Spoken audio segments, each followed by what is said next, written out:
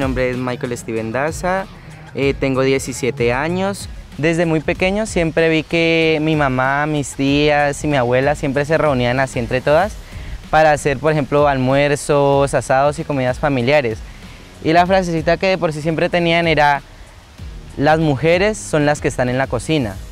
Y ahora que puedo estudiar gastronomía, voy a demostrarle a mi familia y al mundo que la cocina no tiene género.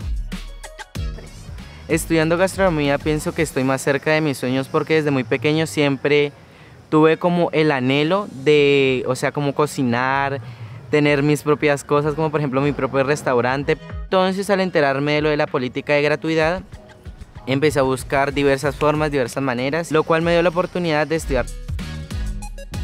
La política de gratuidad es una muy buena estrategia del gobierno para ayudar no tan solo a los jóvenes, sino a diversas personas de diversas edades que quieran y tengan la oportunidad de estudiar y tener un mejor futuro.